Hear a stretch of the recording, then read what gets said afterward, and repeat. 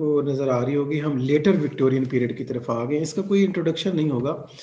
उसकी वजह यह है कि विक्टोरियन एज का हमने एक सोशियो कल्चर और पोलिटिकल एक ही बैकग्राउंड है जो हमने सेट कर दिया था।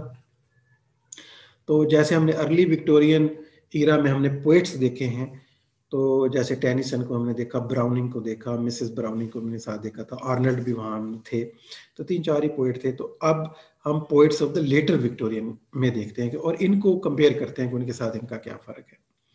लेटर विक्टोरियन एज के अंदर कुछ आर्ट की कोई लिटरेचर की मूवमेंट्स भी हैं, जैसे द पहला जो ग्रुप है उसे हम कहेंगे प्री रेफलाइट ग्रुप और प्री रेफलाइट पोइट्स इनको कहेंगे। In the later Victorian period movement took place in English poetry which resembled something like new romantic revival. ये जो प्री रेफलाइट पोइट्स हैं, ठीक है, इन, इनको न्यू रोमांटिक रिवाइवल भी कहते हैं। जैसे रोमांटिक वाले कहते थे, ये हमारा सेकंड रोमांटिक मोमेंट है। फ़र्स्ट तो में आई थी, ठीक है एक जैसी हमारी अप्रोच है, हम उन्हीं को फॉलो कर रहे हैं। तो प्री रेफलाइट को आप कह सकते हैं new romantic revival It was called the pre-Raphaelite movement and was dominated by a new set of poets Rossetti, Swinburne and Morris, who were interested simply in beauty. ठीक है अब इन सारे पोएट्स का एक ही इंटरेस्ट था इन प्री रेफलाइट जो पोएट्स हैं वो क्या था beauty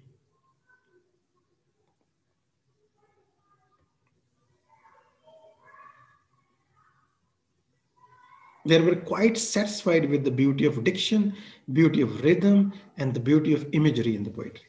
तो क्या कर रहे थे प्री रेफलाइट पोइट्स जो है, एक ही वर्ड अगर आप उनको डिस्क्राइब करें तो वो ब्यूटी है।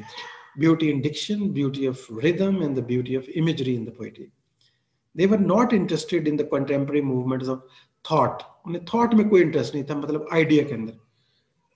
फिलोसफी के अंदर उन्हें कोई इंटरेस्ट नहीं था। थॉट की बजाय कंटेंट की बजाय उनका ख्याल था कि ब्यूटी होनी चाहिए बस।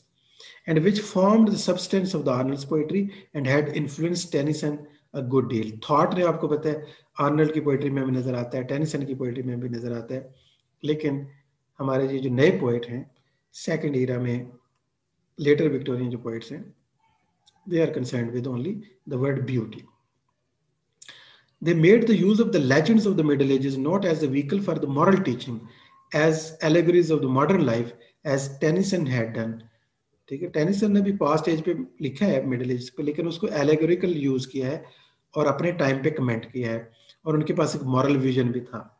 बट सिंपली एज स्टोरीज ये कैसे डील करते हैं? पास्ट मिडिल एज से कहानियाँ लेते हैं but but as stories the intrinsic beauty of which was there sufficient justification उनकी जो इंट्रेंसिक ब्यूटी है, कहते हैं कि ये सफिशिएंट है, ये बताने के लिए कि हमने क्यों लिया है इसको।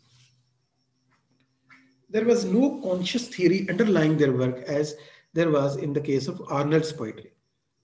तो आर्नल्ड की पोइट्री में एक फिलोसफी हमें नज़र आती है एक थीरी नज़र आती है एक प्रिंसिपल नज़र आता है तो इनका तो कोई प्रिंसिपल कोई थॉट कोई आइडियोलॉजी नहीं थी बस एक ही पॉइंट था वो थी beauty it was 1847 that the young artist named Holman Hunt Holman Hunt जो है came under the influence of the Ruskin's first volume, Modern Painter.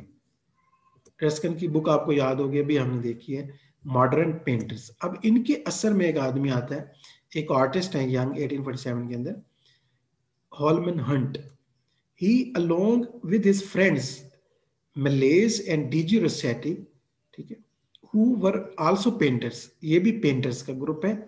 Holman Hunt अपने दोस्तों के साथ मलेज के साथ और डीजी रोसेटी के साथ जो वो लोग भी पेंटर्स हैं। तो ये पेंटिंग करते थे, उन्होंने पेंटिंग का कॉन्सेप्ट और थीरी कहाँ से ली? मॉडर्न पेंटर जो बुक है रस्कन की।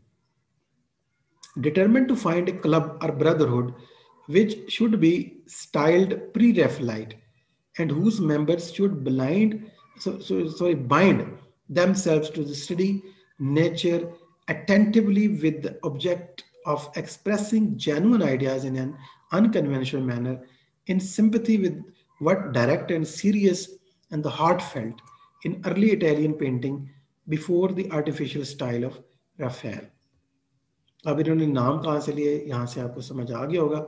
प्री रेफलाइट इसलिए इनको कह रहे थे क्योंकि इटालियन पेंटर आपको याद होगा रेफेल कि मैंने डाविंची के साथ माइकल एंजेलो के अलावा आपको याद होगा, एक मैंने रेनेसा पॉइंट की बात की थी रेफेल की जो फ्रेस्को वगैरह लिखी हैं।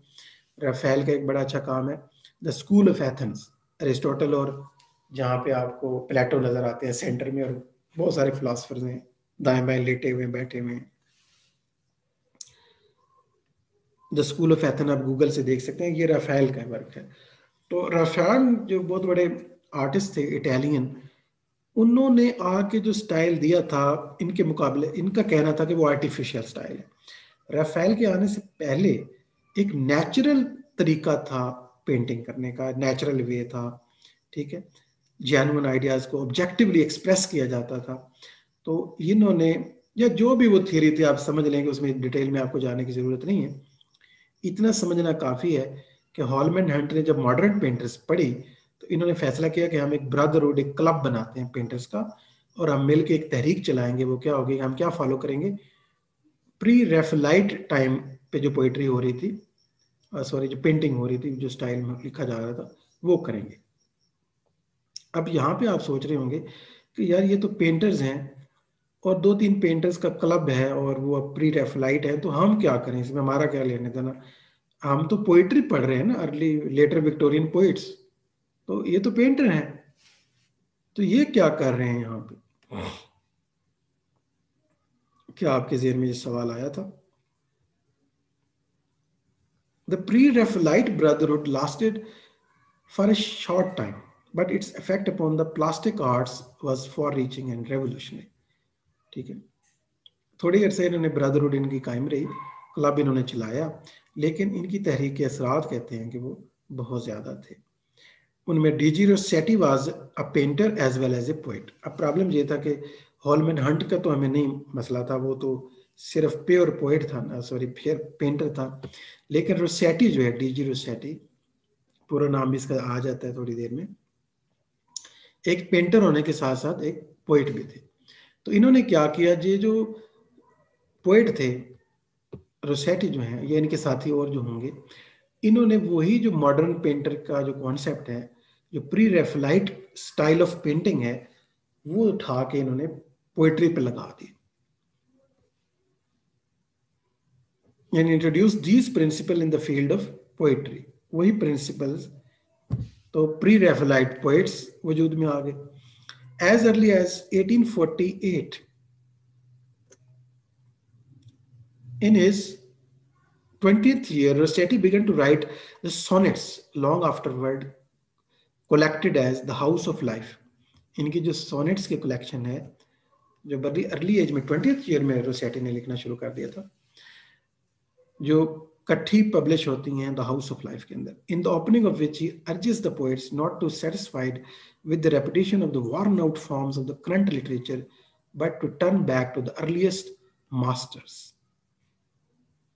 Rossetti displayed in those earliest pieces the passion for material beauty and the love of rich language magnificent. जैसे ब्यूटी इनका क्रिएट था तो मटेरियल ब्यूटी को ये अच्छे तरीके से डिस्क्राइब कर, करते हैं। He also showed a complete detachment from the ethical curiosity जो हमें एथिकल क्रियोसिटी हमें कॉरलाइल में नज़र आती है, ठीक है?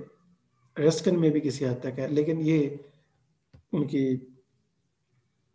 इस बात से एग्री नहीं करते एथिकल जो साइड है उससे नहीं। From that desire to mend the world they have no desire to mend the world माशरे को हमने ठीक करना है, कोई सोशल कोई मैसेज है हमारे पास तो यहाँ पे अगर आप देखें तो प्री रेफलाइट जो ग्रुप है, इसके अंदर आपको जो विक्टोरियन एक टोटल सेंस था ना, उसके खिलाफ एक रिवॉल्ट नज़र आ रहा है यहाँ पे। इसलिए हम इनको कहते हैं न्यू रोमांटिक न्यू रोमांटिसिज्म आ गया यहाँ पे। रिवॉल्ट आ गया है जो क्लासिकल एक डोमिनेंट एक थीम था, एक करंट था विक्टोरियन एज का। which occupied almost all Victorian contemporaries and was to obsess his successors. Being a painter, he also he was able to express his poetic gen, gen, genius more exclusively concentrated on the who's and the forms of the phenomena than any other English poet. तो एक painter थे तो इसलिए words में colour create करते थे और form का बहुत ख्याल रखते थे और ब्यूटीफुल पोएम तखलीक करना चाहते थे His earliest volume poems एक publish होता है Rossetti का work 1870 which spread thrills of the aesthetic excitement far and wide attracted a number of the young enthusiasts in spite of the some faint protest by the older generation against the fleshy school of English poetry कुछ लोगों ने इसको dislike भी किया poems को Rossetti की जो poems हैं कहा कि ये बहुत ज़्यादा मटेरियलिस्टिक अप्रोच है इसकी, और ब्यूटी बस की तरफ़ जाता है, कोई स्पिरिचुअल डेप्थ नहीं है, कोई एथिक्स नहीं है, कोई बात नहीं है। उन्होंने प्रोटेस्ट भी किया, और इवन क्या इल्ज़ाम लगाया कि ये तो फ्लैश ही स्कूल है। फ्लैश के ऊपर लिखता है, यानी मैटर के ऊपर बॉडी के ऊपर लिखता है। यानी कोई स्पिरिचुअल डेप्थ नहीं है। Other poet who followed him belong to the pre Raphaelite group ये जो प्री रेफलाइट ग्रुप है और भी लोग ज़ाहिर इसमें हैं, और वो हैं Christina Rossetti, William Morris and Swinburne. ठीक है? तो क्रिस्टियाना रोसेटी जो है, ये इनकी सिस्टर है तो दोनों बहन भाई जो हैं, वो एक ही तरह की पोइट्री करते हैं। उसके अलावा विलियम मॉरिस हैं and Swinburne pre Raphaelite group बनता है The pre-Raphaelite school of the poetry did not regard poetry as being prophetic or as being mainly philosophical, यानी दोनों चीज़ें उन्होंने निगेट कर दी हैं। ना तो इनके ख्याल में पोइट्री फिलोसफिकल है, जैसे आर्नल्ड कह रहे थे, ना ही प्रॉफिटिक है। कोई बड़ा मैसेज है इसके अंदर, जैसे ब्राउनिंग और टेनिसन देख रहे थे। Their poetry did not concern itself with intellectual complication after the banner of Browning nor with social condition ना तो ये ब्राउनिंग के स्टाइल में है, ना ही टेनिसन के, ना ही आर्नल्ड के। इन्होंने वो वाले सारे कॉन्सेप्ट ब्रेक कर दिए। It was not an intellectual movement ठीक है?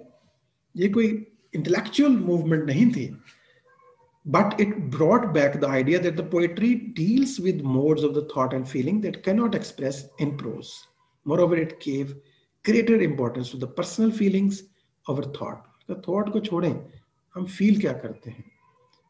और इंस्पिरेशन कैसे आती है और ब्यूटी कैसे क्रिएट हो सकती है? बस। आर्टिस्ट का काम फलसफे को फॉलो करना नहीं है। इट आल्सो इंट्रोड्यूस सिंबलिज्म और पहली बार इन्होंने सिंबलिज्म पर भी ज़ोर दिया which was so far rare in English poetry उनमें बहुत कम नज़र आता है। और आने वाले दिनों में सिंबलिज्म और इमेजिज्म मॉडर्न जो पोइट्री है उस पर इन्फ्लुएंस करेगा इनके ये थॉट जो है एंड इंसिस्टेड जैसे एजरा पाउंड वगैरह के ऊपर, आगे चल के हम देखेंगे इनको। And insisted on simplicity of expression and the directness of sensation The flashy images used by the pre-Raphaelite poets were full of mysticism, but the Victorians who considered them as merely sensuous were shocked by them. ठीक है although इनके जो flashy images थे उनमें काफी mistake element पाए जाते हैं बहुत दूर ध्यान से देखना पड़ेगा लेकिन विक्टोरियन के लिए तो आपको पता है विक्टोरियन मोरालिटी बहुत स्ट्रॉन्ग थी उन्होंने तो शेक्सपियर भी आपको पता है फैमिली शेक्सपियर पब्लिश कर दिया था। और इस तरह की बुक्स तो वो शॉक हो जाते थे इस तरह को देख के। सेंसुस लगती थी उन्हें बहुत ज़्यादा। तो इसमें जो पहले पोइट हैं दांते गैब्रियल रोसेटी डीजी रोसेटी मैंने कहा था ना, पूरा नाम इनका आएगा। दांते गैब्रियल रोसेटी ये दांते अलगिरी नहीं है, जहन में रखिएगा जो इटालियन पोइट है ना डिवाइन कॉमेडी जिन्होंने लिखी है, ये वो नहीं है, ये डीजी रोसेटी हैं। ये प्री रेफलाइट इंग्लिश पोइट हैं। जबकि जो दांते जिनके नाम के ऊपर इनका नाम है वो और हैं। वो it, Italian Renaissance early Renaissance में आते हैं। डिवाइन कॉमेडी लिखी थी। सो so, रोसेटी के बारे में भी थोड़ा हमने पढ़ भी लिया इसके ऊपर चलिए इसको और डिटेल में देख लेते हैं। Rossetti was the chief force behind the pre Raphaelite movement he was the son of Gabriel Rossetti an Italian refugee देखा इनके नाम पे भी था। इनका नाम भी उसी बड़े दांते शायर के ऊपर ही रखा गया। इटालियन रेफ्यूजी थे, वहीं से आए थे। इन्होंने पनाह ली थी इंग्लैंड के अंदर, इनके फादर ने, गैब्रियल सोसाइटी ने। Who was a poet himself and a man of struggling character इनके फादर भी पोएट थे। तो ये आगे चल के खुद भी पोएट बने, इनकी सिस्टर भी पोएट है। तो पोएट्स की फैमिली है। डीजी रोसेटी यानी Dante Gabriel Rossetti drawing and a young man became one of the most enthusiastic member of the pre Raphaelite brotherhood और शुरू में ये ड्राइंग्स में इंटरेस्टेड थे पेंटिंग वगैरह में इंटरेस्टेड थे। एक पेंटर और पोएट हैं, ये साथ साथ हैं। ठीक है, जहन में रखना है, इसको याद इस तरह से आप रख सकते हैं। His own form of painting never admitted reconciliation with convention and possessed far greater charm than that of the other members of the pre-Raphaelite Brotherhood, Malays and the home, Holman Hunt. Though his drawings were admired for the magnificence of his color, the same pictorial quality became the chief characteristics of his poetry. वो जो pictorial quality थी ना painting की वो same ही तो concept ये लेके आते हैं पोएट्री के अंदर which lies apart from the main current of the contemporary verse. Rossetti openly followed the prof profession of a painter, pursuing poetry for the most part as a recreative rather than a principal study. But he is not a consciously didactic poet. जैसे आमतौर पे हमने पहले देखी है Victorian age के अंदर सारे लोग डाइडेक्टिक हैं लाजमी तौर पे कुछ हो ना हो टीचिंग ज़रूर करते हैं ये नहीं करता था Rossetti's poetry can be roughly divided into two groups. इनकी पोएट्री को हम डिवाइड कर सकते हैं the personal and the impersonal poems in the house of life जैसे पहले मेंशन हुआ है सोनेट्स हैं इनकी और उसके बाद Dante at Verona and the stream secret and the many of the shorter lyrics the personal note of the love or the grief or the memory or the hope is wholly dominant in the second group in the great romantic ballads in rosemary and the blessed damsel in the, the white ship and the king's tragedy ये जो impersonal poems हैं ठीक है ये personal poems हैं और ये impersonal हैं in the birds player and sister helen the imagination takes a higher and larger range तो ये इनके कुछ काम है पर्सनल और इम्पर्सनल में डिवाइडेड है थोड़ा सा याद रखने की कोशिश करें as a poet he is neither less nor more pre-Raphaelite than as a painter. Second हमारे पास आ जाते हैं जी क्रिस्टियाना रोसेटी बिल्कुल मुख्तलिफ़ नहीं है, बिल्कुल भाई की तरह है दो Christina Rossetti Christina Rossetti naturally displayed a temperament akin to her brothers and sometimes undoubtedly wrote to some extent under his inspiration larger parts and some of the best parts or her poetical accomplishments are quite distinct from anything of his. Our sonnet sequence have the same Italian form and the same characteristics of color, music and meditation as those of Rossetti.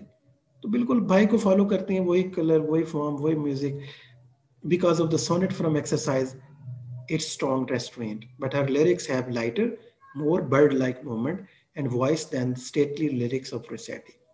Cristiana Rossetti began with Goblin Market or दूसरा work and other poems in 1861. Followed it with another volume, The Prince's Progress. अब ये नाम आपको याद होगा pilgrims progress एक work के बिल्कुल कॉपी करते हुए लिखा है इन्होंने द प्रिंसेस प्रोग्रेस इन 1880 1866 तो पिलग्रिम्स प्रोग्रेस किसका वर्क है याद है किसी को? कि भूलते जा रहे हैं सब कुछ। And much longer interval with a pageant and other in 1881 तो ये भी इनका कुछ काम है। कुछ आपको फोकस चाहिए होगा। बार बार सुनना पड़ेगा। दो बार सुने, चार बार सुने लेक्चर को। नोट्स बनाएँ, चीज़ों को याद रखने की कोशिश करें। एफर्ट चाहिए है, यकीनन चाहिए है। आउट ऑफ़ बॉक्स जाना होगा।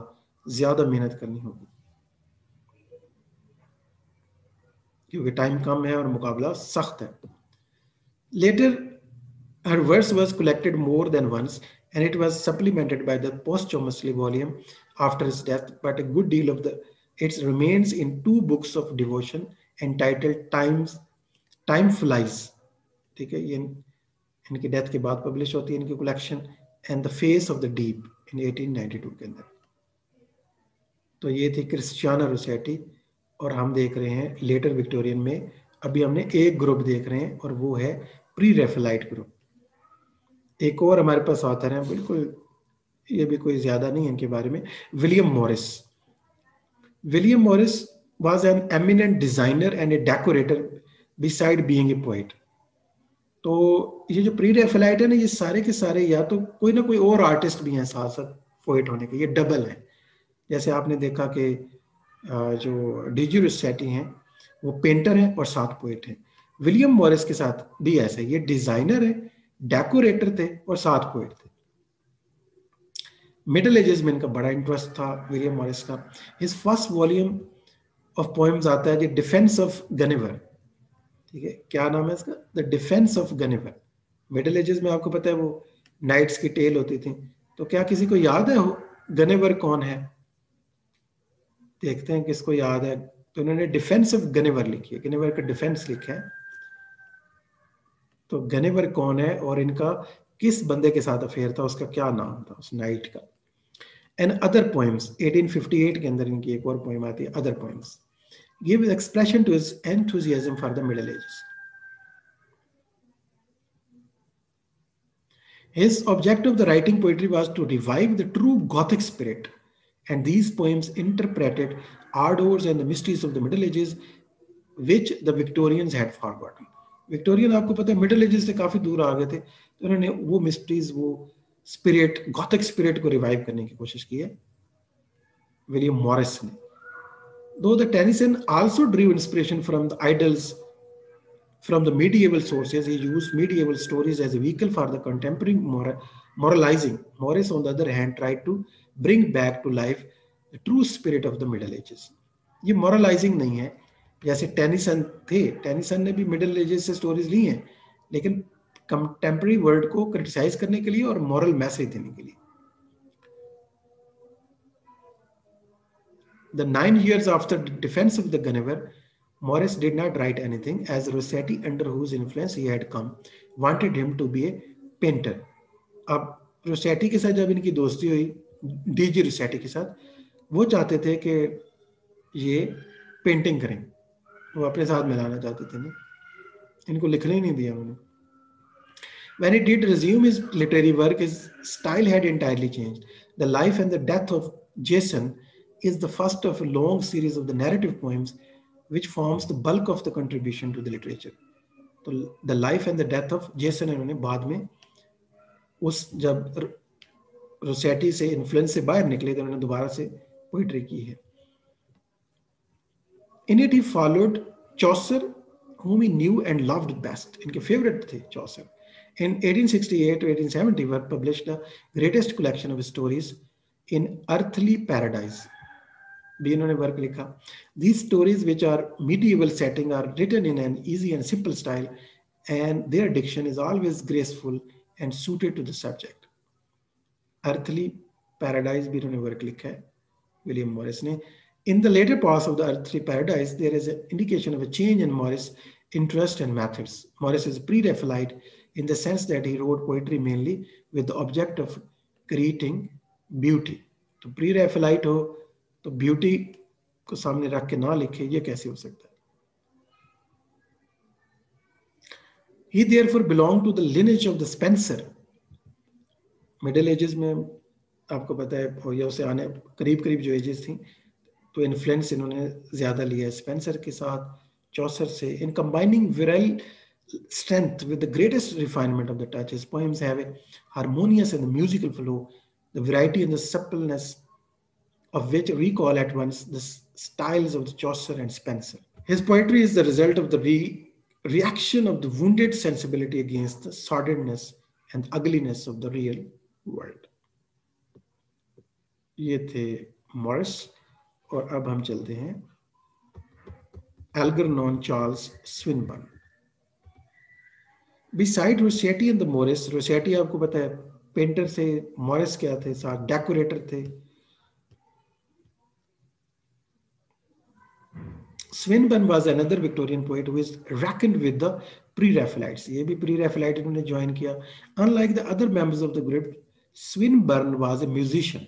जैसे मैंने सारे कहा ना ये सारे ग्रुप में सब कुछ ना कुछ और भी हैं ये याद रखने के लिए हमें हेल्प करेगा ये म्यूजिशियन थे दैन ए पेंटर पेंटर नहीं थे म्यूजिशियन थे और साथ पोएट थे the poetry of the Rossetti and the Morris however musical it may be is primarily pictorial. Swinburne's poetry lacks the forms, contours, and sure outlines of the poetry of the Rossetti and the Morris, but it has this sonority of the rhymes which links the verses together.